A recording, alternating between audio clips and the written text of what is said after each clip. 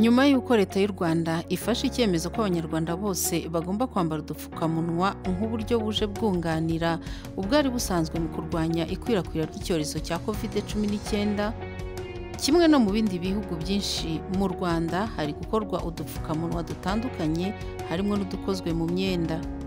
Ese utu dupfukamunwa tuje kunganira mu buhe buryo?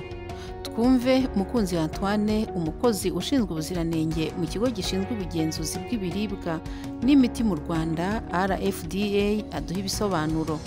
Buriya buryo bwo kwambara ziriya bariya masike zikoze mu myenda bufasha nibuza ko niba umuntu buriya abantu iyo bari bagenda bari mu bikorwa bitandukanye inshuro wikora ku mazuru cyangwa ku munwa ntushobora kuzimenya. Bituma niba ugiye no kwikora ku munwa zirarinda ko utakwikora kubera uba wahapfutse. Ikindi noneho ni ukuvuga ko niba nitsamuye ndi mu bantu.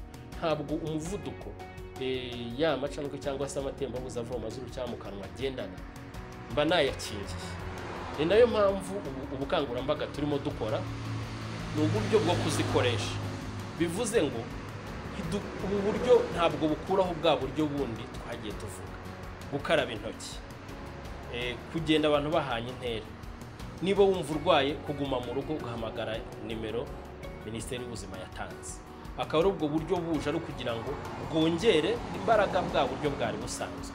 Tukaba rero nka minisiteri y'ubuzima n'ikigo cy'igihugu gishinzwe kugenzura ibiribwa n'imiti twumva ko izo masike zikoze mu myenda cyangwa se bariya masike nizikoreshwa neza hari icyo zizaza zongera ku buryo bwari busanzwe. Gusa inzego zibishinzwe ziratangaza ko hari amabwiriza agomba kugenderwaho kugira ngo utu dupfukamunwa dukorwe neza kandi dukoreshwe mu buryo bwiza. Ikindi noneho ni uburyo bwo kuzikoresha bijyanye n'uko umuntu atagomba kurenza amasaha atandatu ayambaye impamvu twavuga amasaha atandatu ni uko uko uyambaye ugenda uko uvuga cyangwa se amacandwe ito ya masaha atandatu ni ukuvuga ngo nibuza nyimese. Nambara iyindi uretse aya masaha atandatu ikigo gishinzwe ubugenzuzi bw'ibiribwa n'imiti mu rwanda rfda kiratangaza kandi ko agapfukamunwa gakoze mu mwenda cyangwa se cloth mask gafite umwihariko wo kuba kameswa kagakoreshwa inshuro nyinshi ariko zitarenze eshanu. Kandi ko kugakorera isuku bisaba kugafura n'amazi meza n'isabune ukakanika ukagatera ipasi. Cyangwa se mu gihe udafite ipasi uragafura ukagashyira mu mazi yabize noneho ukakanika. Ikindi kandi abaturage barakangurirwa gukoresha neza agapfukamunwa kuko bigira amabwiriza abigenga. Reka turebe noneho uko wakambara neza aka gapfukamunwa gakoze mu mwenda. Mbere yo gukora ku gapfukamunwa banza ukarabe neza n'amazi n'isabune cyangwa ukoresha imiti yabugenewe irimo arukore reba niba kadacitse. Reba neza igice kijya imbere. Ni ukuvuga igifata ku mubiri. Ambara agapfukamunwa ufashe ku tugozi. Noneho ukamanure ku kananwa kugira ngo gatwikire amazuru umunwa n'akananwa neza. Umva kandi ko gafashe neza ku mpande zose.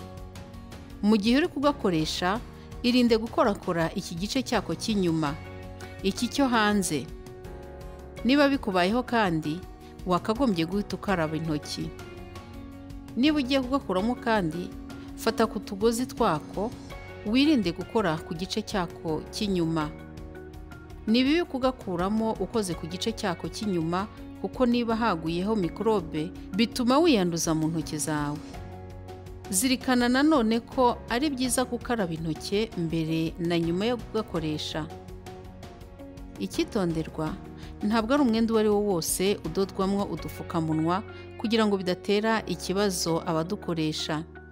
Inganda n'ibindi bigo byahawe uburenganzira bwo kutudoda zirasabwa gukoresha umwenda wo mu bwoko bwa koto poliyesiteri na poperine. Ikindi kandi birinda gukoresha umwenda uvamo irangi.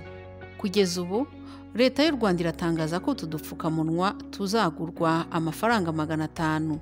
Dusoza reka tubibutse ko agapfukamunwa katagomba gutuma twirara. Kaje kunganira ubundi buryo bwari busanzwe bwo kwirinda icyorezo cya covid cumi n'icyenda. Tugomba gukomeza kubahiriza andi mabwiriza nko gukaraba intoki guhana intera itari munsi ya metero imwe hagati yawe n'abandi muri kumwe kwirinda kujya ahantu hari abantu benshi ndetse no kwirinda gukora ingendo zitari ngombwa. Izi nyigisho muzigezwaho n'umuryango nyarwanda wita ku buzima n'uburenganzira hdi cyangwa health development initiative mu magambo arambuye. Ku bindi bisobanuro wasura imbuga nkoranyambaga zacu haba kuri twitter facebook instagram na youtube ijwi ry'ubuzima kandi wibuke gukora subscribe. Ushobora kandi guhamagara umurongo utishyurwa mirongo itatu na gatanu mirongo itatu cyangwa ugasura website yacu wa eshatu akadomo hdi rwanda akadomo org.